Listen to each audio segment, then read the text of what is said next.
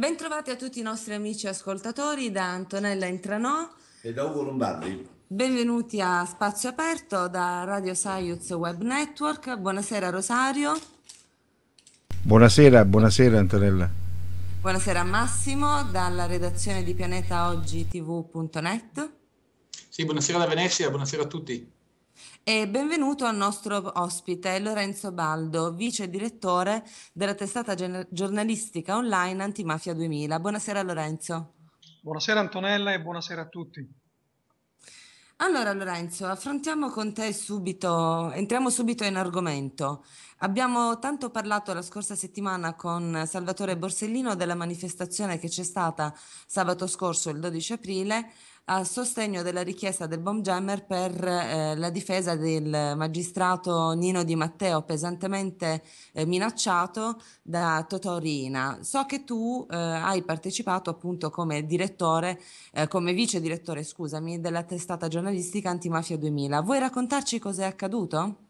Sì, guarda, prima di iniziare a parlare di, della manifestazione, secondo me è importante è proprio un inciso, una, l'antefatto, diciamo, come si è arrivati a questa manifestazione con questa richiesta esplicita del bomb jammer per Di Matteo. Allora dobbiamo fare un po' di passi indietro e tornare, diciamo, al 14 ottobre 2013, quando il deputato del Movimento 5 Stelle, Luigi Di Maio, attuale vicepresidente della Camera, chiede, presenta un'interrogazione parlamentare al ministro dell'Interno Alfano e all'allora ministro della Giustizia Anna Maria Cancellieri proprio per chiedere espressamente ai ministri se dovevano, non, non ritenevano appunto importante predisporre tutte le misure necessarie alla massima protezione nei confronti appunto del dottore Di Matteo e della sua scorta. E per inciso, il, appunto l'onorevole Di Maio chiede proprio sul bomb jammer, cioè vuole sapere perché ancora non è stato dato a Di Matteo e alla sua scorta.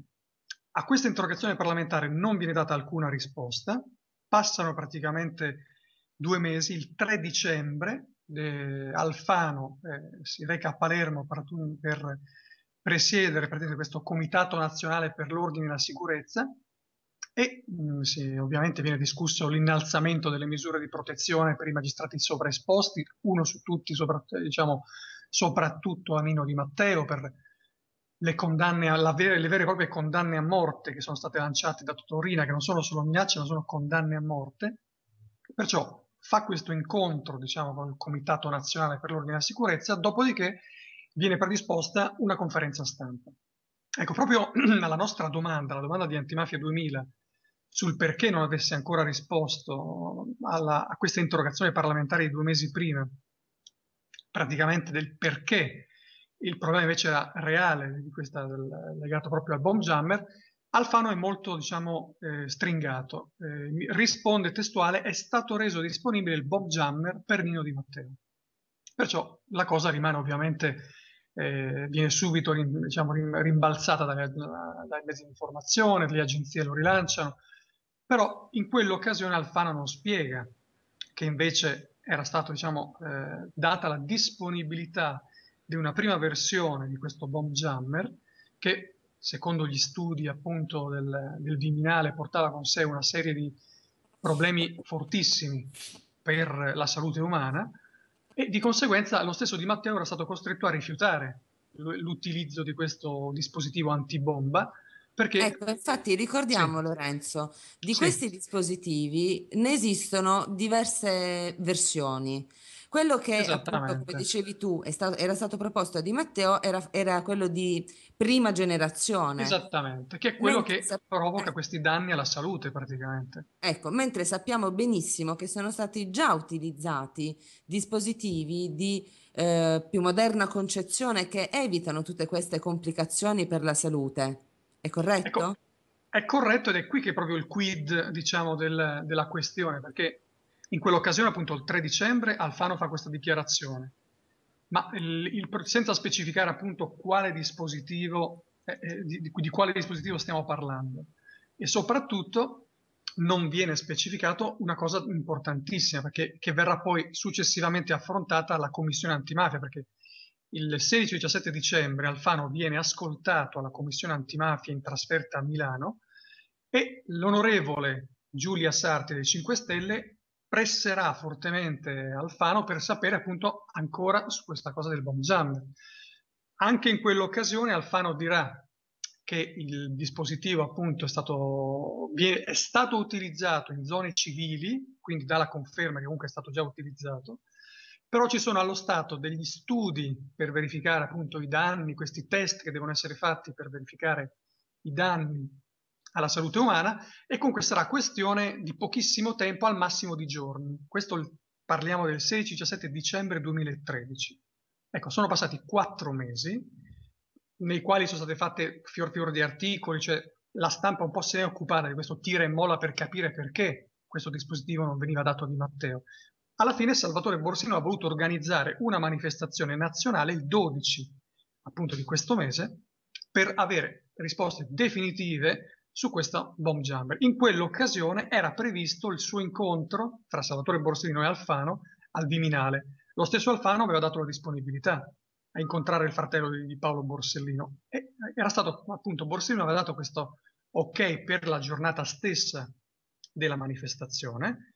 E la cosa gravissima che si è consumata in quella giornata è stato che una volta che Salvatore Borsellino è arrivato al Viminale, gli è stato detto che Alfano non c'era perché era a fare il congresso del nuovo centrodestra, non c'era nessuno a poterlo ricevere, tanto che Salvatore Borsellino aveva raccolto quasi 6.000 firme in tutta Italia di persone che volevano sostenere questa manifestazione, aggiungendoci appunto con la richiesta di avere notizie su questo bomb jammer e quindi dovevano essere depositate queste 6.000 firme. C'è stata una trattativa quasi di un'ora per sapere come fare e come non fare. Alla fine hanno fatto entrare una piccola delegazione di cinque persone, fra cui c'era anche Antimafia 2000, insieme a Salvatore Borsellino, e in una situazione paradossale Salvatore Borsellino ha depositato queste firme a questi due ufficiali, che, questi funzionari del gabinetto del ministro che non sapevano cosa dire perché erano impreparati, non sapevano nulla, e con grandissima pazienza e dignità il fratello di Paolo Borsellino ha raccontato tutta la genesi di quello che vi ho in parte sintetizzato adesso, spiegando che la motivazione per la quale lui avrebbe voluto incontrare Alfano era proprio quella, chiedere notizie definitive, cioè una volta per tutte sapere cosa sta succedendo attorno a questi test, perché non è possibile che, che un ministro dica alla commissione antimafia è questione di giorni e passano quattro mesi senza sapere nulla. E le misure di, pre, di, protezione nei confronti di Matteo sono altissime perché lui è veramente condannato a morte da Cosa dal capo di Cosa Nostra. E quindi tutta la manifestazione è, diciamo, è proseguita nonostante questo mancato appuntamento tra Alfano e Salvatore Borsino che noi lo abbiamo anche scritto, dimostra il totale disinteresse e la mancanza di rispetto istituzionale e umana anche nei confronti del fratello di Paolo Borsellino. Eh, Lorenzo, sono Ugo Lombardi. Sì, eh, ciao Ugo. Ciao Lorenzo. Il, sì. il, problema è, credo che si debba vedere anche da un altro punto di vista.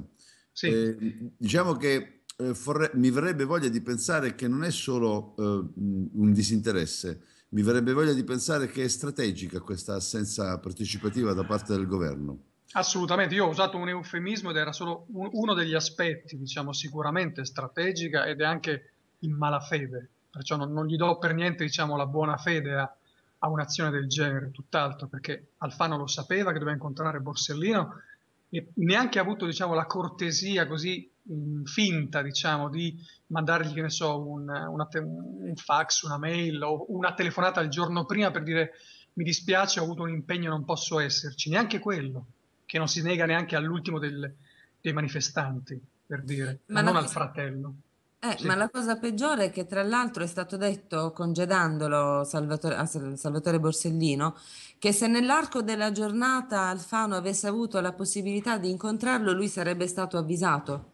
Cioè, Esattamente. Esatto. Sostanzialmente, tanto Salvatore Borsellino quanto le oltre 350 persone, credo siano state a Roma, sì. no?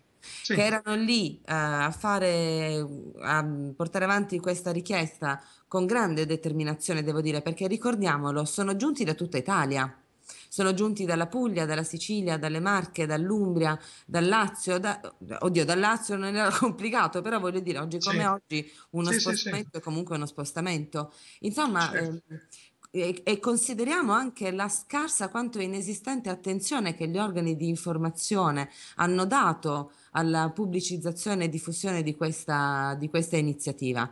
Guarda, è... possiamo, sì, possiamo dire veramente inesistente perché cioè, i, i, grandi giornali, tutti, praticamente nessuno escluso, cioè non ha dato una riga né il giorno dopo, né due giorni dopo, né tantomeno oggi. Cioè, una cosa che io ritengo gravissima, soprattutto per certi organi di informazione che sono sempre stati vicino a battaglie importanti, però non si può ignorare un, un, un evento del genere, cioè non è, non è l'ultimo arrivato Salvatore Borsellino che al quale viene sbattuta in faccia la porta dal ministro dell'interno. Quindi io penso che il ruolo dell'informazione deve essere sempre vigile e chiunque, cioè, soprattutto de, diciamo, dai mezzi di informazione, fra virgolette, amici, noi ci, ci dobbiamo aspettare un'attenzione, soprattutto. Attenzione che manca ed è proprio questo il pericolo maggiore. Il pericolo maggiore sì. è che chi si occupa di una strenua lotta alla mafia come fa eh, il PM di Matteo e tanti altri come lui, eh, cioè, dobbiamo ricordarlo che comunque... Assolutamente.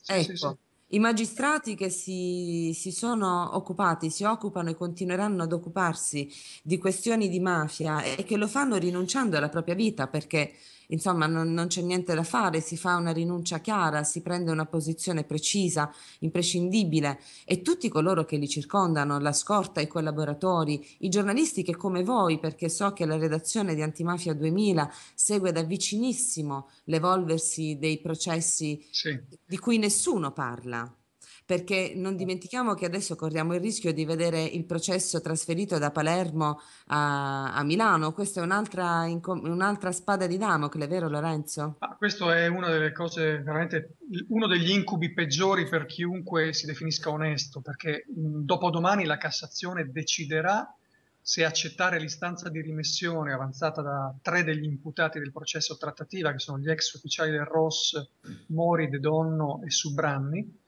che hanno chiesto praticamente di spostare la sede del dibattimento, appunto del processo sulla trattativa Stato-mafia, lontano da Palermo e hanno strumentalizzato praticamente i rischi che sono veri per quanto riguarda appunto l'incolumità di Nino Di Matteo, ma sono stati così, eh, si potrebbe dire, diabolici, perché hanno preso un fatto vero, che sono appunto queste minacce, che sono appunto, diciamo prima, condanne a morte, e usate per dire, vedete, è importante che ci sia un clima sereno, che non ci siano le manifestazioni della, della società civile eh, come vengono fatte qui a Palermo per sostenere i magistrati, è troppo rischioso, dobbiamo spostare il processo. C'è una piccola postilla che la gente dovrebbe sapere. Spostando il processo, che la sua sede diciamo, più ovvia sarebbe Caltanissetta, qui in Sicilia, così dicono diciamo, gli addetti ai lavori, significherebbe azzerarlo completamente, azzerare anni di indagini, anni, questo, questo primo anno di dibattimento praticamente, ma significherebbe proprio distruggerlo perché subentrerebbe comunque per certi versi la prescrizione, cioè ci, ci, sarebbero magistrati che dovrebbero ristudiarsi da capo anni e anni appunto di faldoni. Quindi significherebbe ucciderlo. La morte civile per Di Matteo, Roberto Tartaglia, Francesco Del Bene, Vittorio sì, Teresi, sarebbe veramente ucciderli civilmente e sarebbe la vittoria non solo di Cosa Nostra, ma di questi famosi poteri occulti, questi mandanti esterni delle stragi, che da anni si nascondono dietro le, diciamo, le pieghe del, delle inchieste giudiziarie ufficiali che vedono ovviamente i capi di Cosa Nostra alla sbarra. Ecco, questa è una cosa che sta passando sotto silenzio perché a parte il nostro giornale, qualche altro qualche altro articolo uscito sporadicamente o sul Fatto Quotidiano, da altre parti, si è parlato pochissimo di questa decisione che verrà presa fra due giorni, che può cambiare la storia d'Italia, perché se questo processo viene appunto spostato, di conseguenza viene azzerato, non si potrà mai arrivare a sentenza, significa aver perso un'occasione storica di fare veramente, finalmente, giustizia e verità a 360 gradi sulle stragi che sono quelle di Falcone, Borsellino, le stragi del 93, dove so, ricordiamo dove sono morti inermi cittadini che non c'entravano nulla con la lotta alla mafia, perché, e cito uno su tutti, la strage di Georgofil, dove un'intera famiglia e un ragazzo di 18 anni morto, sono morti, cioè, che non c'entravano niente. Questo perché Cosa Nostra ha fatto sbriciolare la Torre dei Pulci questa famiglia è stata sepolta viva dalle, dalle macerie. Il ragazzo è bruciato anche lui vivo per l'incendio che si è propagato. Quindi questo il popolo italiano deve capire. Cosa nostra è questa, che uccide chiunque. Se poi rientra in un piano che non è solo di Cosa Nostra, ma di queste entità esterne che le sentenze dei processi passati sono, hanno appena sfiorato. Questo è il primo processo che potrebbe finalmente rivelare chi sono queste menti grigie che trattano con la mafia a suon di bombe e chi sono queste entità che stimolano a mettere queste bombe come è stata per la strage di Via D'Amelio che ricordiamoci quella frase famosa di Totò Rina che disse quando lui disse facciamo subito la strage di Borsellino e tutta la cupola ovviamente si zittì perché a distanza di 57 giorni era troppo rischioso fare una strage così eclatante. E Rina disse state tranquilli mi hanno garantito che è un bene per tutta Cosa Nostra allora chi è che garantisce al capo di Cosa Nostra di fare la strage di Borsellino che è un bene per Cosa Nostra, se non entità esterne e potentissime? Ecco, questo processo che si sta celebrando a Palermo sta cercando di fare luce su quelle entità e se verrà spostato sarà la fine. Lorenzo, eh, verrebbe sì. voglia di fare una, una, così, una, una, richiesta che potrebbe essere anche, eh, potrebbe sembrare esagerata, ma credo che sarebbe opportuno forse coinvolgere anche la comunità europea, visto che il fenomeno mafioso è un fenomeno non solo nazionale. E credo che sarebbe anche magari eh, provocatoriamente chiedere aiuto per questa tutela per le nostre autovetture dei nostri magistrati al governo europeo e magari forse sarebbe anche eh, meglio rivolgersi alla Merkel vista, visto che è l'unica eh, interlocutrice la più stimata fra quelle contattate dai, dai governi di altre nazioni. Che ne pensi? Guarda, ti posso dire che Sonia Alfano, la figlia del giornalista ammazzato dalla mafia Beppe Alfano, nonché presidente della Commissione parlamentare europea antimafia, che ha presieduto in quest'ultimi, in quest'ultimi anni, si è battuta fortemente per portare l'attenzione del, del processo trattativa in Europa e purtroppo adesso il suo mandato sta scadendo e salvo diciamo, colpi di fortuna lei non verrà ricandidata e non ci sarà la possibilità di rivederla a presiedere la Commissione parlamentare europea antimafia. la speranza è che il prossimo presidente di questa commissione sia ovviamente cioè, un italiano onesto e pulito che possa prendere in mano questa grandissima eredità che, che l'Alfano gli lascia, se lei stessa non riuscirà a essere rieletta e riconfermata in questo. Perciò ti posso dire che già in Europa in quest'ultimo anno soprattutto si è parlato tante volte, sia di questo processo e, del, e di cosa significa. Il problema è dare continuità, è mantenere accesa, perché in Europa, non, prima di questa commissione parlamentare antimafia, ti assicuro che c'era un'ignoranza incredibile sulla pericolosità di Cosa Nostra, non tanto in Italia, ma in Europa, nonché poi nel mondo ovviamente, però qui stiamo, stiamo concentrandoci sull'Europa. Quindi il lavoro fatto, oltre che a Sonia Alfano, anche da Rita Borsellino, che da canto suo lo stesso ha lavorato fortemente, è stato proprio quello di spiegare la pericolosità di Cosa Nostra, che non era solo nella strage di Duisburg che d'improvviso è come se avesse risvegliato dal torpore i tedeschi e, e altri paesi europei. È qualcosa di molto più radicato, profondo e soprattutto che coinvolge tutti i paesi europei. Eh, mi pare di poter, di poter dire, Lorenzo, che stiamo correndo un altro grave rischio. Gli strumenti che abbiamo a disposizione per la lotta contro la mafia sono pochissimi. Purtroppo bisogna combattere anche contro una ideologia, una cultura che stenta quasi a riconoscerla perché ormai la mafia è talmente, come dire, ben imbrigliata nella, nelle maglie del, della vita quotidiana di ognuno che ormai è difficilissimo identificarla la si confonde sì. con altro se non addirittura la si dà per scontata, cioè una certa mentalità mafiosa, un certo modo di vivere mafioso è considerato oramai normale. Ma quello che preoccupa forse un pochino sono la scarsità degli strumenti. Ora, per esempio, c'è il 416 ter che sta per essere modificato. C'è una proposta al riguardo, vero? Ma questo, guarda, tocchi uno dei tasti più dolenti in assoluto, perché, non so, ovviamente adesso sono sotto gli occhi di tutti eh, le, le vari, i vari scontri che ci sono stati in Senato, cioè i 5 Stelle si sono fatti sicuramente promotori di una battaglia fortissima perché diciamo, se traduciamo in soldoni quello che è successo, ecco. diciamo da una parte, allora finalmente si arriverà ad avere diciamo, questa norma che punisce l'accordo politico-mafioso, lo scambio dei voti politico-mafioso, però dall'altra non è così come si sognava lo stesso Giovanni Falcone, una, una legge forte di quelle diciamo, che stroncano sul nascere ogni possibile iniziativa. Qui abbiamo due problemi, secondo me, che dobbiamo focalizzare. Il problema soprattutto è che le pene che noi abbiamo eh, in questo momento per quanto riguarda il concorso esterno in un'associazione mafiosa, la stessa associazione mafiosa, sono relativamente basse, nel senso che il nostro è un paese che ha un DNA corrotto nella stragrande maggioranza, quindi o noi lo diciamo estirpiamo attraverso appunto delle leggi dure, rigidissime, forti, che si applicano subito senza sconti, ma che devono essere effettive.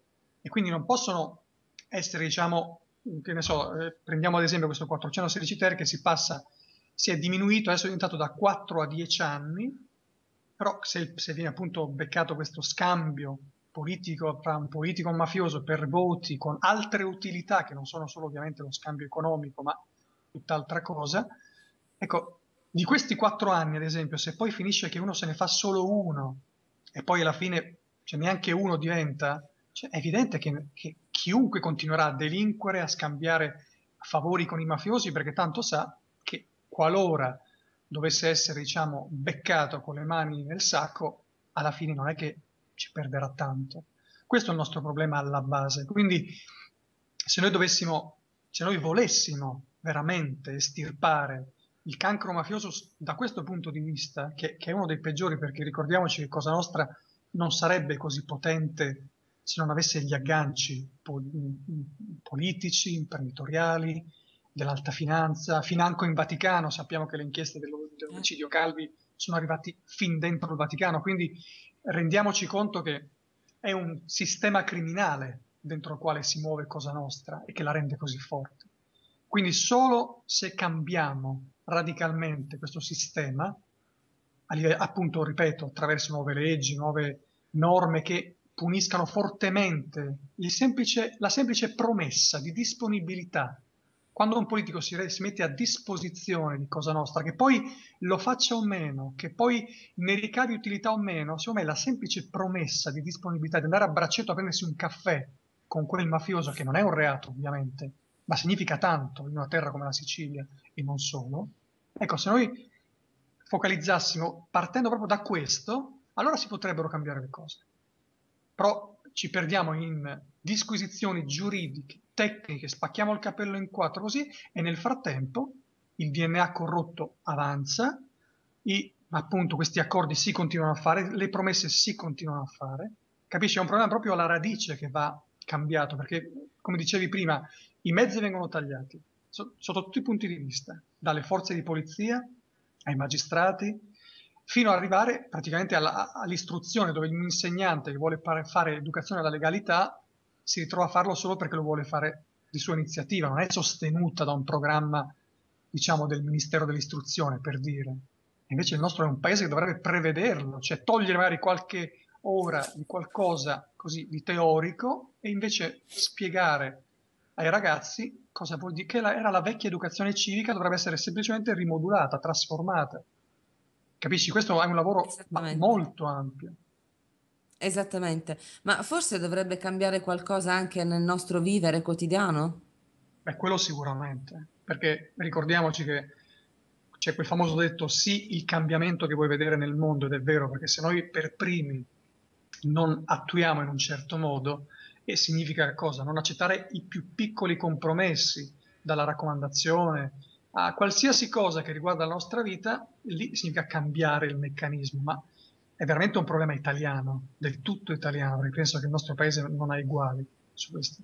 Quindi è un lavoro che andrebbe fatto, per quello è importante dalle elementari parlare ai bambini. E io eh, apro ma... una parentesi, secondo me importante, da, praticamente dal 20 gennaio viene fatto tutti i giorni davanti al Palazzo di Giustizia un presidio di scorta civica, che, un, che significa un cartello di associazioni, liberi cittadini, per sostenere Di Matteo, per dire se lo Stato non ti protegge ci siamo noi. Ecco, in questi praticamente tre mesi, quanti siamo, dal 20 gennaio in poi, si sono intervallati tantissimi personaggi, sono venuti alcuni esponenti politici, ma la cosa più bella secondo me è che sono venute delle scuole, che, che continuano a venire a scuola, addirittura l'altro giorno c'erano delle classi di terza elementare, quinta elementare, questi bambini piccoli portati con le loro insegnanti, che fanno veramente un miracolo, perché vi, vi lascio immaginare cosa significa qui a Palermo spiegare ai bambini la lotta alla mafia, il sostegno ai magistrati, quando vivono situazioni, molti di loro agghiaccianti, in quartieri a rischio, con una subcultura mafiosa pazzesca. Quindi abbiamo visto questi bambini piccolini con i loro grembiuli blu davanti a questo gazebo della scorta civica, davanti al Palazzo di Giustizia, a sostenere Di Matteo. Allora, questa è la speranza. Cioè, vedere questi ragazzini, questi bambini, e pensare che sono loro che se cambieranno la loro testa da bambini possono diventare dei futuri uomini e donne consapevoli, che voteranno persone oneste, che non, che non cederanno al pizzo, che denunceranno. Questa è la risposta. Lorenzo, eh, sì. scusami, mi, mh, mm, prendo al balzo quello che dici perché sì. eh, nell'ipotesi che qualche scolaresca o anche le loro insegnanti non possano venire lì a Roma, eh, non pensi che sarebbe opportuno capillarizzare questa informazione, cioè andare noi e chi ha questo problema a cuore, andare all'interno delle, delle strutture scolastiche, agli angoli delle strade, occupare spazi che loro non, non, ci vogliono dare. Visto che l'informazione ufficiale è tutta occupata da loro, dovremmo noi andare per strada, angolo per angolo, scuola per scuola e illustrare quali sono i problemi collegati alla mafia. Questo dovremmo fare anche, perché questo significa combatterli sullo stesso piano loro, con lo stesso terreno. Completamente d'accordo Ugo, calcola che è un lavoro che viene fatto comunque ovviamente da tanti anni da Libera di Don Ciotti, da parte nostra da quando esiste il nostro giornale continuiamo ogni tanto ad andare nelle scuole, oltre che fare conferenze diciamo classiche aperte al pubblico, puntiamo molto su questa, perché è la base, come ti dicevo prima, soprattutto poi dai più piccoli, che paradossalmente sarebbe, sembra quasi di, impossibile riuscire a spiegare a un bambino di terza elementare, invece, invece si può, perché tu pensa a questi ragazzini, le loro insegnanti hanno creato un fumetto dove praticamente Nino Di Matteo viene rappresentato come un pulcino che segue le orme dei grandi che sono Falcone, Borsellino e questo fumetto, che sembrerebbe una cosa così molto semplice, invece entra nelle teste di questi bambini. Quindi loro capiscono che questi piccoli stanno seguendo le orme di grandi personaggi che sono stati uccisi da questo male che si chiama mafia. Capisci? Quindi è da lì che bisogna partire, da lì. Beh, dobbiamo recuperare anche il concetto di Stato e, seguire sicuramente magistrati importanti, sicuramente, ma anche inculcare il concetto di Stato. Lo Stato siamo noi, insomma, è un concetto che deve essere in, in, inculcato nei bambini sin da piccola età e quindi tutela dello Stato, tutela delle leggi e delle regole dello Stato. Dicevi prima delle raccomandazioni, degli accordi, dei sotterfugi. Ecco, eh, ricomporre, recuperare questi valori, insegnarli sin da piccoli. Ormai abbiamo, abbiamo, dimenticato queste cose. Diciamo che nella società ormai ognuno fa il furbetto perché fa operazioni che non sono lontane da quelle mafiose, però bisognerebbe recuperarle. Bisognerebbe quindi tornare a comportarsi in maniera eh, corretta, insegnare a tutelare lo Stato in questo modo. Insomma. Sono completamente d'accordo, anche ti dico, è un lavoro su vasta scala, nel senso che così come nel piccolo, come diciamo prima nelle scuole, con i bambini, con i ragazzi, così come nel grande, perché di fronte a una controinformazione che ci bombarda veramente con notizie o false o mistificate, c'è, c'è un popolo intero che secondo me da più di vent'anni è bombardato da questa, quella che è, una, è un'arma a tutti gli effetti, e, e ha, prodotto suoi, ha prodotto veramente i suoi effetti, perché dopo una sorta di anestesia totale la, mol, molta parte diciamo, del, del, degli italiani ha perso uno spirito critico, ha perso una, un potere di analisi. Quindi tutto, tutto, viene metabolizzato velocemente, le notizie tutte diventano, tutte possono andare bene, perciò una, un, so, una condanna dove c'è stata una prescrizione o una soluzione con una prescrizione diventa assoluzione immacolata. L'esempio è ovviamente la sentenza Andreotti che aveva questa macchia gravissima dei suoi contatti, di, lo stesso Andreotti, con eh, i capi di Cosa Nostra fino al 1980, per il popolo italiano è passata come una soluzione senza macchia. E quindi è un esempio questo, oppure abbiamo adesso un latitante come il senatore Dell'Utri che si permette di scappare tranquillamente in Libano e di bloccare un intero sistema giudiziario, perché in questo momento c'è una sentenza di Cassazione che è bloccata, doveva esserci ieri e i, i suoi avvocati, potremmo dire furbescamente, si sono dati per malati, eh praticamente uno si è fatto ricoverare, l'altro ha messo, ha messo di mezzo un problema al ginocchio, quindi la Corte di Cassazione ha diciamo, accolto le istanze degli avvocati di Dell'Utri che hanno chiesto di rimandare questa sentenza. Quindi, ma anche lui capito? mi pare che abbia salute cagionevole, eh? lo stesso... Sì, ma in mezzo a tutto questo c'è una vera e propria fuga, che, e soprattutto c'è un, un, sistema che permette a un condannato a sette anni per concorso esterno in un'associazione mafiosa di fare il bello e il cattivo tempo, cosa che sta succedendo perché lui ormai per quanto possa mettere di mezzo i propri problemi di salute e solo Dio sa se sono veri o meno, cioè lui di fatto sta veramente tenendo sotto scacco un intero paese e tutto va bene. Contemporaneamente abbiamo un pregiudicato condannato per frode fiscale come Berlusconi che si permette adesso, nonostante è stato affidato ai servizi sociali, di fare campagna elettorale. Ma in quale altro paese civile io penso che un condannato in via definitiva avrebbe la possibilità di fare campagna elettorale? Cioè, siamo veramente... Non solo Renzo, non solo sta facendo campagna elettorale, ma sta sì. discutendo con Renzi delle riforme. Cioè noi stiamo, stiamo, affidando il futuro del nostro paese a un pregiudicato, a un condannato.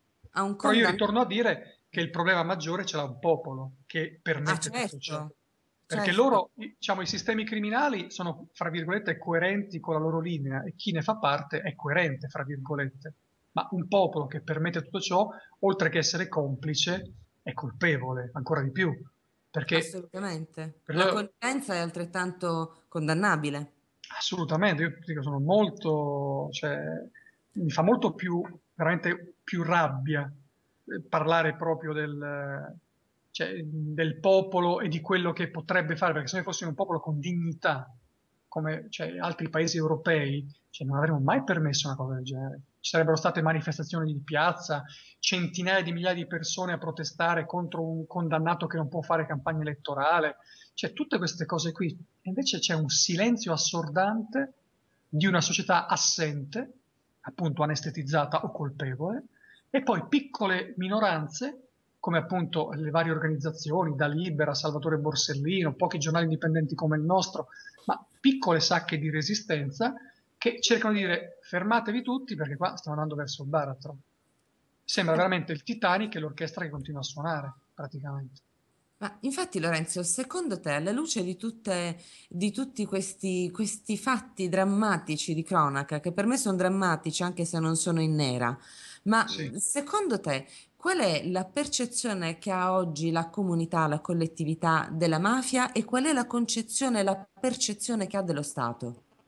Beh, domanda molto impegnativa, nel senso che la percezione secondo me è minima, perché a parte appunto, come dicevo prima, queste secche di resistenza, cioè che, il messaggio che passa diciamo, alla massa è ovviamente che finché non ci sono nuove stragi, nuove morti, così la mafia c'è, non c'è punto di domanda.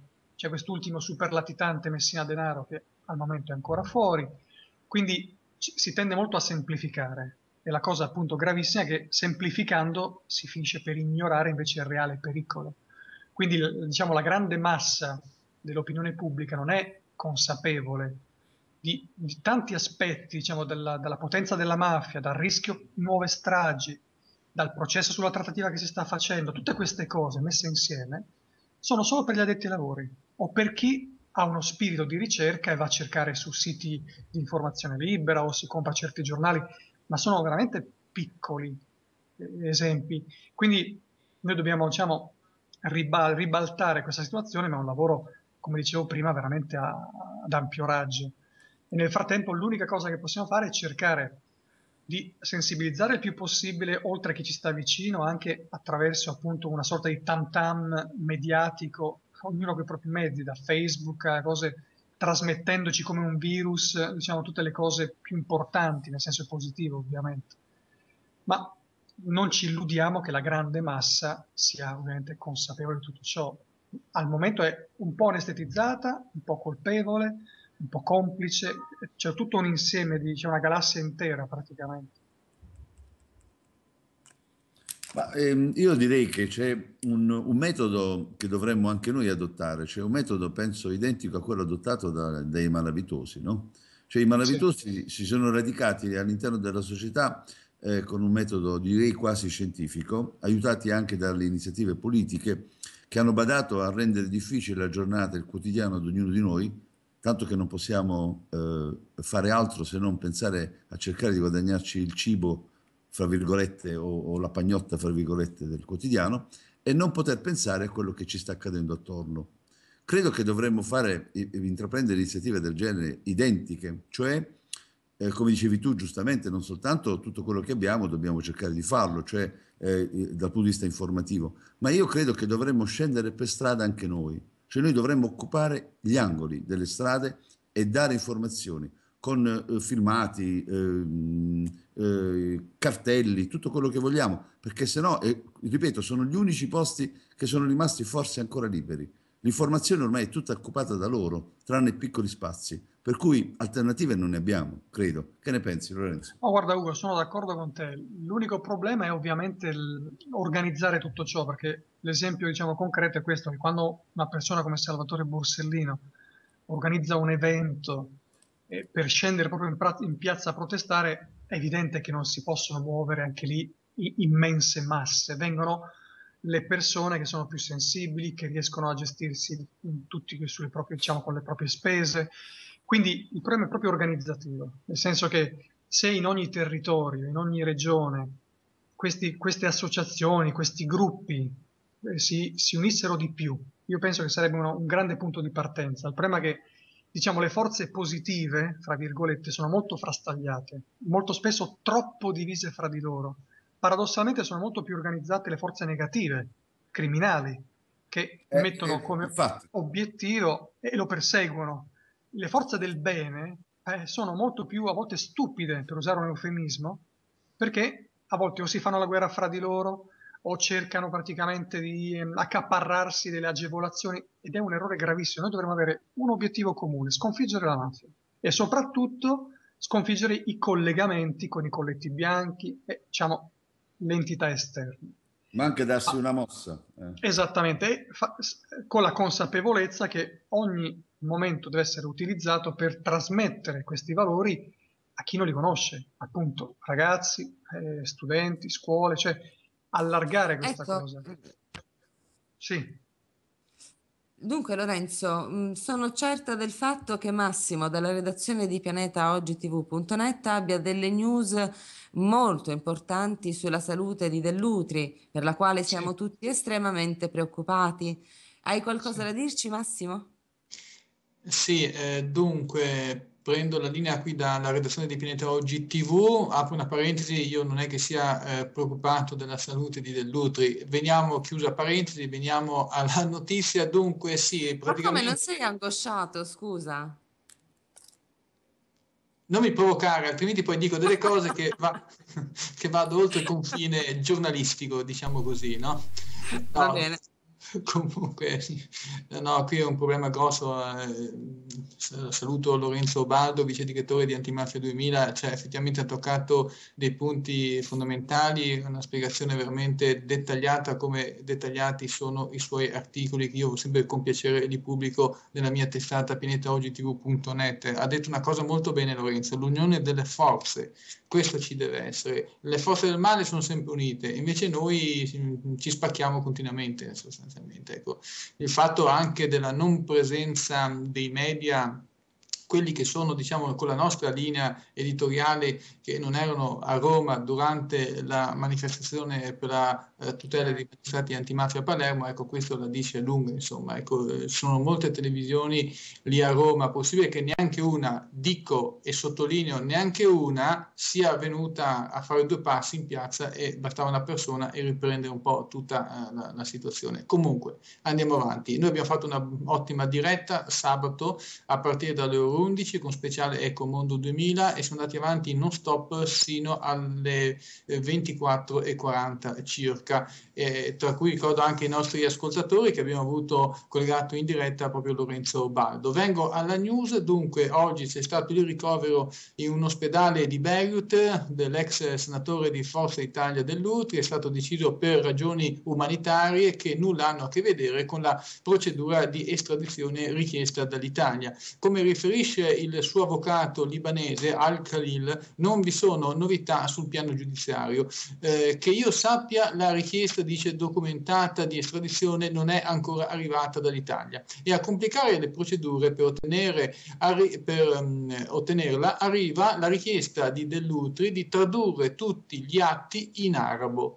L'ex senatore resta comunque agli arresti anche in ospedale. Ricordiamo che il nosocomio eh, scelto è dotato di un padiglione per i detenuti. Linea Bari. Bene, a questo punto non ci resta che organizzarci, Lorenzo. No? Abbiamo eh, individuato quali sono i percorsi che potremmo compiere, siamo già in, in, in corsa per quelli che stiamo cercando di fare e cioè l'informazione, tutto quello che vogliamo. Io dicevo prima una battuta, diamoci una mossa, ma non è tanto una battuta. Io credo che dovremmo anche noi, diciamo, risvegliare le nostre capacità e credo che siano tante, non, non soltanto comunicative, ma anche informative. Perché se non facciamo altrettanto anche noi rispetto alla disinformazione della stampa, eh, credo che la gente non potrà conoscere questi particolari. Nessuno ha interessi a comunicarli e quindi dobbiamo farlo noi. Sono completamente d'accordo, Ugo. Penso che in questo momento storico ognuno di noi deve riacquistare consapevolezza del proprio ruolo, qualunque esso sia, da, appunto, sia dall'informazione ma anche nella vita quotidiana di una persona che è impegnata normalmente nel proprio lavoro e comunque dedica parte del proprio tempo libero a una causa.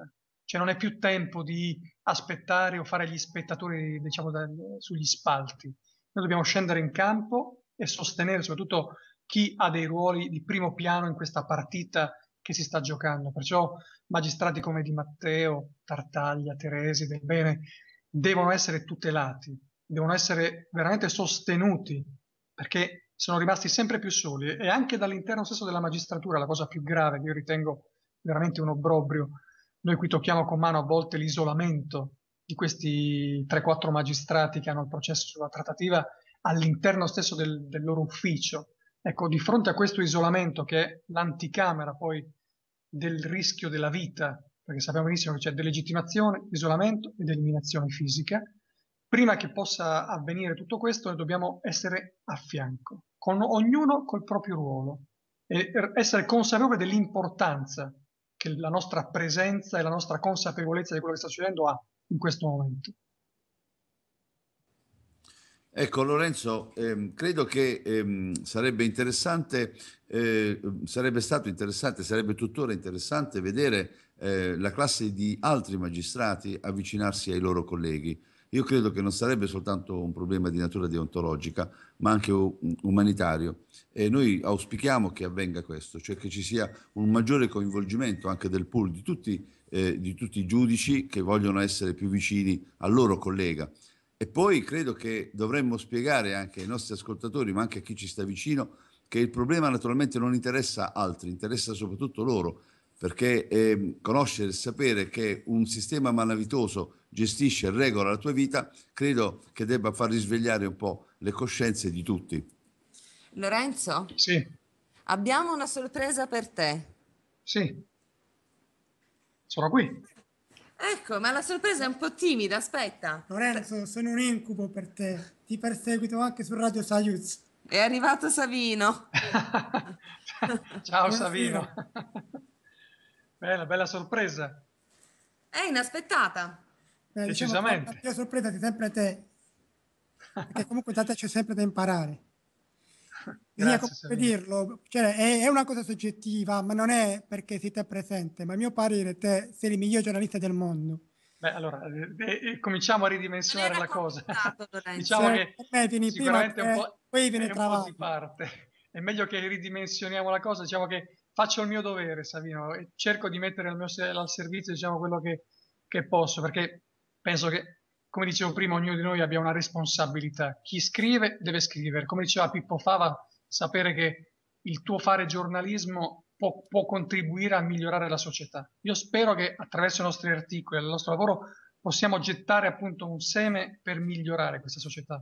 Quindi lo reputo veramente un mio dovere. Poi sono sicuramente sulla strada di grandi miglioramenti che dovrò fare sempre più, come ognuno di noi nella, nella sua vita nella, dovrà fare per, per, migliorare. Quindi veramente il lavoro ce n'è, ce n'è tanto ancora da fare. Sì. Vabbè, resta comunque il fatto che il tuo dovere lo fai perché sei un giornalista serio, ma visto che stiamo parlando di questa tematica, secondo te cosa dovrebbe fare il, il paese per avere una comunicazione reale, veritiera? Come, dovrebbe, come, facciamo a far passare un'informazione affinché arrivi realmente alla sostanza di quello che, che accade davvero, senza che sia plagiata dai, dai, dai governi o comunque dalle, dai, dai paramafiosi, chiamiamoli così, che poi pilotano i, i media? Beh, diciamo che non è che si può avere una, una, una soluzione così nell'immediato, ci vorrebbe sicuramente una richiesta, diciamo, generale da parte dell'opinione pubblica, perché se, se l'opinione pubblica si facesse sentire con forza, eh, dico in due, in due, aspetti, diciamo, basilari, diciamo, da un punto di vista di boicottaggio, perché se le, le trasmissioni, quelle di controinformazione nel senso negativo, ad esempio porta a porta o altri programmi dove vengono attaccati i magistrati e vengono esaltati i condannati. Ecco, se trasmissioni come questa perdessero totalmente diciamo, l'ascolto, ecco, sicuramente verrebbero a cadere questi pilastri della, della controinformazione nel senso negativo. Oppure se personaggi come Vittorio Sgarbi, a questi personaggi venisse tolto il microfono e non amplificata la voce, si spegnerebbero da soli e quindi si potrebbe dare più spazio a gente come Gino Strada, Don Ciotti e quindi l'informazione cambierebbe, ma ci vorrebbe una rivolta popolare nel vero senso del termine, perché noi siamo dei grandi, abbiamo un grande potere nelle nostre mani, che è appunto o il boicottaggio, che significa che se noi decidiamo che quel prodotto, sia esso eh, un, un dentifricio o sia un programma televisivo, non lo vogliamo, quel prodotto muore, ovviamente, perché non avendo una richiesta muore. Quindi è forte il potere che ha l'opinione pubblica e non se ne rende conto o non lo vuole usare o non è organizzata per farlo, ma noi così potremo pretendere una libera informazione se cominciassimo a chiedere appunto programmi veri con non sempre con gli stessi personaggi che vogliono solo gridare, vedi, cito uno per tutti la Sant'Anché che viene invitata costantemente in un programma come quello di Santoro dove c'è per dire un Marco Travaglio che fortunatamente fa, di, fa, da contraltare, ma perché invitare chi vuole solo portare, diciamo, rabbia o, o so, e soprattutto disinformazione come una, una, persona come lei? Quindi fino a quando il sistema eh, mediatico darà spazio a questi personaggi, sarà molto difficile che la gente cominci a, a capire veramente le cose come stanno. Ma sta a noi far cambiare la musica, perché ripeto, se noi spegniamo la TV quando compaiono certi personaggi e quel programma, gli ascolti crollano, eh, ovviamente cioè, abbiamo un potere che dobbiamo esercitare. Quindi ritorno a dire che deve essere l'opinione pubblica a pretendere questo cambio di informazione e nel frattempo certo che noi, diciamo, operatori dell'informazione abbiamo questo dovere di, di continuare a mantenere fede a quell'impegno appunto di Pippo Fava dove, che vedeva l'informazione come un contributo al miglioramento della società. Ma il problema è che purtroppo siamo nella fase opposta dove i, i poveri liberi cittadini, i giornalisti, sono quelli che o fanno la fame e cercano di, disperatamente di, di, di resistere per, per, farsi pubblicare un pezzo, per avere uno spazio sul sito o su una televisione privata, è veramente un paese allo sfascio se costringe elementi più libere, elementi critiche a, a fare una vita in sottobosco. Questa è la cosa più grave, secondo me, che dovrebbe essere ribaltata anche in questo caso da nuove leggi per la libera editoria. Tutto questo sistema dovrebbe essere ribaltato, perché è uno dei pilastri della democrazia, la libera informazione. Lorenzo, mentre eh, rispondevi a questa domanda, mi, sono, mi ha fatto ricordare, è una, un ragazzo che ha lottato sia per la comunicazione e sia per l'antimafia. Questo nome mi, mi, è venuto perché mi hai citato Sgarbi. Ora non voglio entrare sulla polemica del vilipendio su Napolitano e sul caso delle querele tra Giorgio Bongiovanni e Sgarbi, Però sì. potresti raccontarci brevemente la storia di Giuseppe Gatti, visto che è molto intrecciata con quella di Vittorio Sgarbi. Ma questo ragazzo siciliano è una storia veramente un po' triste perché lui si limitò a quando appunto Sgarbi, in uno dei suoi tanti convegni dove non perde l'occasione per insultare e attaccare i magistrati, sia in passato quando c'era Caselli, siamo tutti diciamo memori del, degli attacchi velenosi che lui vomitava dalla tv Sgarbi Quotidiani, il suo programma su Canale 5 e anche in questa rubrica omonima pubblicata dal giornale. Quindi in una di queste sue trasferte, ovviamente nu- nuovamente attaccò la magistratura e questo giovane ragazzo gridò viva Caselli, viva il puro antimafia e venne violentemente strattonato, portato via, identificato, cioè fu una, una violenza privata quella che si consumò. Purtroppo poi questo ragazzo morì per cause naturali per qualche anno dopo ed è rimasta la sua frase celebre che dice questa è la mia terra e io la difendo e tu? Punto di domanda. Questo punto di domanda continua a martellare chiunque abbia dei dubbi su, sul fatto di difendere o meno una causa. Questo ragazzo l'aveva fatto perché difendendo il pool di Caselli, il pool antimafia, difendeva la, la magistratura più nobile del termine, che veniva invece denigrata, sbeffeggiata, violentata da, dalle grida di Vittorio Sgarbi che appunto continuano a imperversare, come dicevo prima, perché gli viene dato un microfono. Il problema è, come disse una volta l'ex sindaco di, di Londra nei confronti di Berlusconi, quando disse lui non dovrebbe avere questa attenzione mediatica, dovrebbe finire nel cestino della storia. Ecco, io dico che persone come Sgarbi dovrebbero finire nel cestino della storia, perché fino a quando gli continueremo a dare visibilità, questi personaggi continueranno a vomitare addosso insulti, violenze gratuite. Quindi il ricordo di questo ragazzo pulito che diceva questa frase, io difendo la mia terra e tu, ecco, dovrebbe essere, secondo me, un monito per ognuno di noi per dire che faccio nella mia vita. La difendo la mia terra e comunque in generale la causa che intendo servire di giustizia, qualsiasi essa sia. Facciamocela questa domanda perché penso che sia veramente importante, cioè non sprecare la vita. Bene Lorenzo, noi ti, ti, ringraziamo, ti ringraziamo davvero tantissimo per il tempo che ci hai voluto regalare oggi e per l'estrema chiarezza che, come sempre, ti contraddistingue.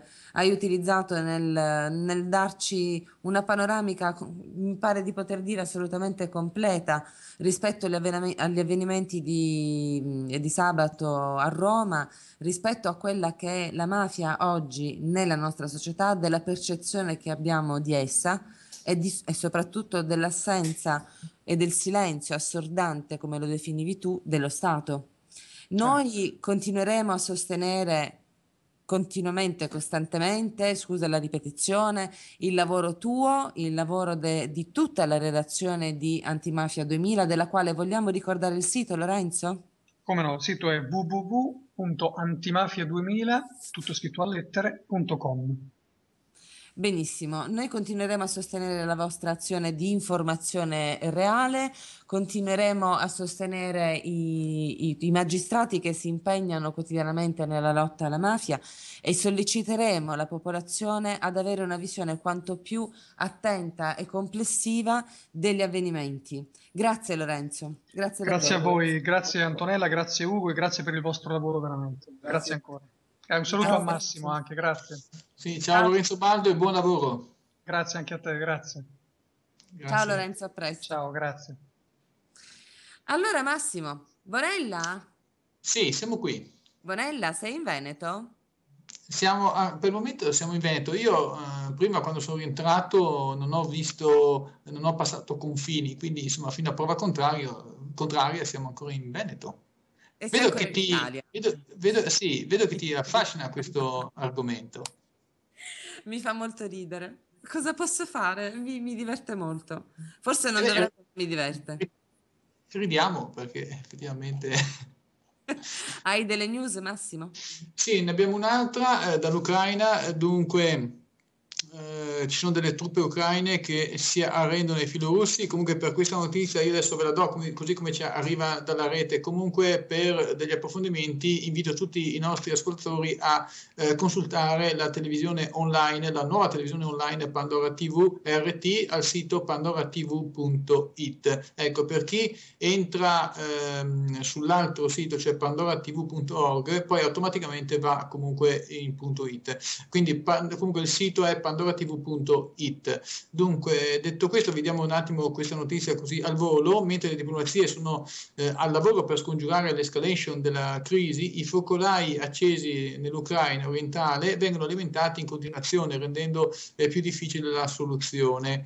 Eh, dunque, a, ehm, a Kramat, ehm, Kramatorsk e a Sloviansk una colonia di truppe ucraine è stata costretta dagli insorti filorussi a consegnare i meccanismi eh, di sparo. Solo così ha potuto eh, proseguire. Intanto il partito delle regioni dell'ex presidente Yuknovich ha eh, chiesto a Kiev di cessare le azioni antiterrorismo e ai filorussi di abbandonare i palazzi governativi occupati. Questo è quanto vi posso dire al momento dalla eh, redazione. Comunque, ripeto, per maggiori informazioni consultate la televisione online pandoratv.it, che allora lì abbiamo delle, praticamente c'è in onda un telegiornale della nota televisione intercontinentale, la RT Russian Today, che trasmette via satellite ehm, che eh, trasmette, lo ricordo, in lingua eh, inglese, che comunque viene tradotta grazie a Pandora TV, grazie alla redazione giornalistica di Pandora TV e quindi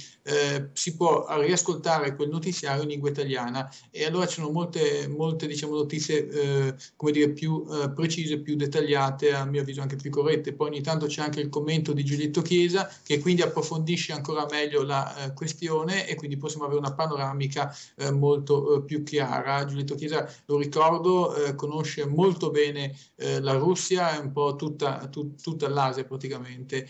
E quindi ecco, eh, questo è quello che ci tenevo a sottolineare. Mm, tornando al discorso che faceva eh, Lorenzo Baldo, mh, mm, ecco, eh, io volevo un attimo eh, far emergere questo, che durante il congresso del centrodestra Alfano ha detto che solamente la destra ha fatto delle leggi contro Cosa Nostra, che loro non vogliono niente a che vedere con i voti di Cosa Nostra o mafia, o meglio ancora eh, cancro mafia. Ecco. E, però vedo che eh, non riesce nemmeno a consegnare eh, alla, scorta, alla, scorta, di Nino Di Matteo il dispositivo Bomb Jammer, quindi questo mi fa abbastanza pensare. Cosa, cosa, cosa dite voi giù a Bari? Che è una bella contraddizione in termini. Brava, esatto, esatto, esatto. Direi che è, decisa, è una decisa contraddizione, ma se consideriamo che il Viminale sabato era a loro dire assolutamente deserto, un appuntamento fissato con larghissimo anticipo, quindi mh, suppongo sia stato inserito nell'agenda degli impegni del ministro.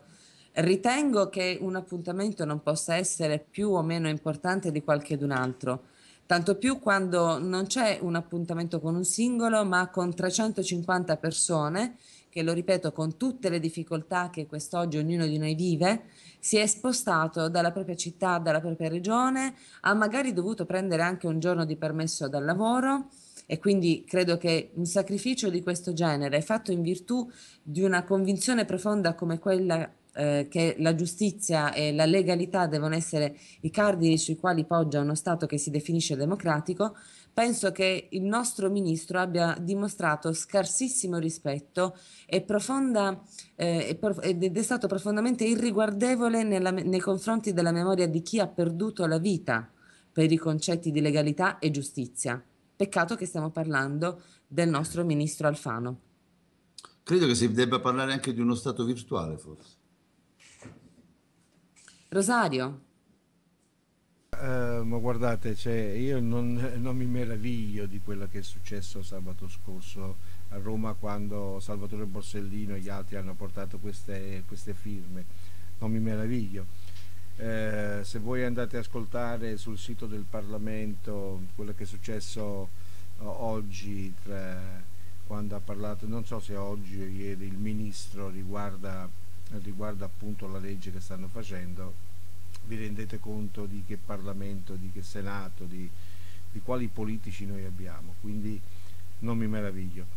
La cosa però che io vorrei eh, a questo punto, che tutta sta, sta battaglia che è stata fatta per il Bob Jumper lì, scusate come lo pronuncio, eh, non venga, eh, che non finisca lì con questa consegna delle firme. La cosa che mi preoccupa è quella perché abbiamo visto ah, penso che... di poter dire che almeno noi non consentiremo che questo avvenga. Eh, noi no, però eh, eh, riguardo a sabato, se voi avete ascoltato bene un po' tutti i media, io ci ho fatto molta attenzione, eh, di Salvatore Borsellino, delle agende rosse, di chi era presente a Roma non se ne è parlato, ma si è parlato solo dell'altra manifestazione mh, mm, dove ci sono stati degli scontri, no? Dove ci sono stati dei feriti, anche gravi, certo. certo. E, e, teniamo quindi... conto che di fronte a una situazione di questo tipo il ministro Alfano non era al Viminale. No, non era al Viminale perché stava parlando eh, al congresso di NCD del nuovo centrodestra, del suo partito. Al congresso del suo partito, certo, stava facendo festa quindi... lì.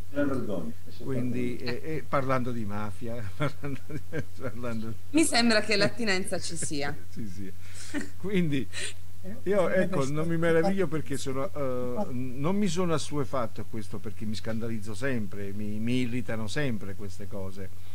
Però conoscendo questi politici della Prima Repubblica, della Seconda Repubblica e se continuano questi qua anche con la Terza e la Quarta Repubblica, noi avremo le stesse identiche cose, avremo gli stessi identici comportamenti.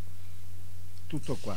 Eh, eh, Rosario. Oh, cioè, ragazzi, eh, non ci scordiamo che stanno facendo, stanno stravolgendo la, la, la, legge, stanno nella Costituzione con un condannato in via definitiva, insomma, con uno che è delinquente, ah, perché uno che è condannato, cioè, che, eh, domani mattina andranno a prendere Rina, si porteranno anche Rina al Nazareno e, e, le, e insieme a Berlusconi e a Matteo Renzi eh, ci sarà anche Rina a discutere della nostra Costituzione, delle nostre leggi. Ah no, l'hanno già fatto.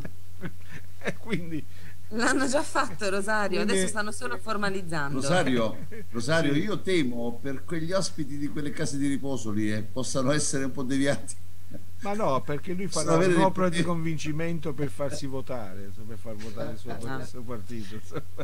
No, come si diceva prima con Lorenzo, e io di questo sono fermamente convinta, il cambiamento deve cominciare da noi, deve cominciare dalla nostra quotidianità, deve cominciare dall'azione quotidiana di ogni singolo cittadino che la deve smettere, deve smetterla di sentirsi passivo e cominciare a comprendere che il suo ruolo attivo è fondamentale, è davvero fondamentale. Va bene, Massimo hai delle ultime news da darci? Sì, dunque le sto appunto adesso uh, consultando un attimo, sto guardando nella rete, c'è una, uh, un, sì, c'è una news che comunque ci porta un attimo fuori tema, poi ritorneremo naturalmente su questa cosa qui. Ecco, eh, riguarda il social network eh, Facebook, eh, dunque la diffamazione via Facebook si realizza anche se avviene in forma anonima. Così la Cassazione eh, che ha annullato la soluzione accordata ad un maresciallo della Guardia di Finanza di San Miniato eh, che sui social network aveva offeso la reputazione di un collega pur senza nominarlo, esprimendo giudizi poco lusinghieri sul suo conto. Per eh, Corte il reato di diffamazione non richiede il dolo specifico, essendo sufficiente la consapevolezza di eh, pronunciare una frase lesiva dell'altrui reputazione e la volontà che venga a conoscenza di più eh, persone. Ecco, spero che sia capito perché c'è un po' Ecco, eh, allora praticamente eh, bisogna eh, proprio stare attenti anche quando si scrive sul Facebook perché tutti pensano che lì si possa scrivere qualsiasi cosa, invece no, bisogna stare eh, un po' attenti a non andare a eh, rischiare di diffamare altri, il nostro prossimo, sostanzialmente altre persone. Poi vediamo se abbiamo qualcosa dell'ultima ora, ehm, che, mm, vediamo un attimo se riusciamo qui ad aggiornare. Eh, no, non ci sono altre ultime ore. Eh, niente, qui eh, per il momento è tutto. Io restituisco nuovamente la linea dunque a Bari. Bene, allora noi non rimane altro che salutare i nostri ascoltatori, dare l'appuntamento a mercoledì prossimo, sempre alle 18.30, sempre su Saiuz, in compagnia di Rosario Moreno. Grazie per la tua regia, Rosario. Grazie, grazie a voi ragazzi. In compagnia di Massimo Bonella, direttore della testata pianetaogtv.net. Grazie Massimo. Grazie a voi, anzi aggiungo una cosa che se entrate nel um, sito pianetaogtv.net eh, c'è ancora in home page eh, praticamente le due parti della lunga diretta di sabato sulla manifestazione a Roma per quanto riguarda la difesa dei magistrati antimafia eh, di Palermo. Ecco, specifico ogni volta bene questa cosa qui perché eh, riguarda proprio la manifestazione della mattina, cioè vuol dire dalle ore 11 alle 13.58. Tutto quello che poi è successo nel pomeriggio a noi non ci riguarda assolutamente niente. Apro una parentesi, eh, c'era quel corteo per il diritto alla casa che per me eh, stavano esprimendo anche una cosa eh, più che giusta, eh, ci sono stati degli scontri perché sono oramai la storia si ripete, cioè ormai abbiamo capito, è inutile insomma eh, meravigliarsi, i soliti diciamo personaggi eh, estremisti che non c'entrano niente con eh, quel corteo che si intrufano, creano problemi, vanno a dar fastidio alla polizia, hanno ferito anche mh, degli agenti e poi c'è come dire tutto ritorna tranquillo, infatti poi il corteo è arrivato a fine corsa senza problemi. È un po' come un temporale, è successo questo breve temporale, quattro tuonate e poi tutto è andato, una volta tolto via diciamo il marcio, ecco che il, il, il corteo poi ha proseguito regolarmente giusto per mettere un attimo i punti eh, sulle i.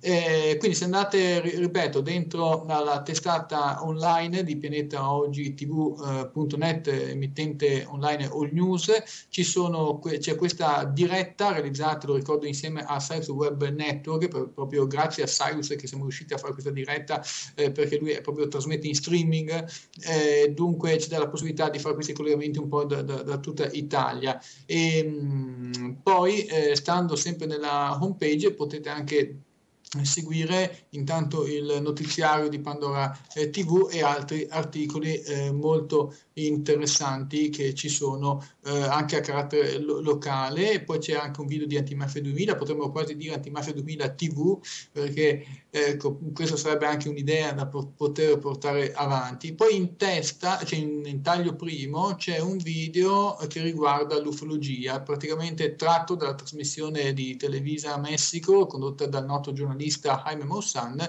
dove praticamente si intitola cioè UFO sopra città del Messico e ci sono veramente degli oggetti particolari eh, che insomma merita di andare a vedere. C'è eh, la traduzione anche in lingua italiana. Dunque è veramente tutto da Pineta Oggi TV. A questo punto io saluto tutti quanti circolarmente da, da Bari Antonella Intranò, Ugo Lombardi e quindi alla regia centrale Rosario Moreno a Treviso e no, naturalmente tutti i nostri ascoltatori. Ricordo altresì ancora che questa trasmissione Spazio Aperto versione radiofonica, sarà eh, presente anche poi all'interno di pianetaogitv.net e così anche il um, notiziario di domenica mattina Ecomondo 2000. Poi vediamo Antonella se riusciamo anche a, eh, port- a poter portare dentro la trasmissione della nostra collega eh, Francesca eh, di Radio Gubbio, in modo che così abbiamo un po' tutta quanta, come si può dire, un punto di incontro eh, mediatico. Ecco, cerchiamo noi quindi appunto di unire le forze, almeno dal punto di vista mediatico, queste televisioni, radio locali, radio online e tv online, per portare avanti questo messaggio per la vita. Grazie a voi per la chiusura. Grazie Massimo, lo faremo senz'altro, parleremo molto presto con Francesca e con Marco. Per intanto salutiamo tutti i nostri ascoltatori, diamo l'appuntamento mercoledì prossimo, sempre alle 18.30, sempre su Saiuz eh, eh Web TV. Ciao, arrivederci. A mercoledì prossimo. Ciao a tutti. Ciao. Ciao.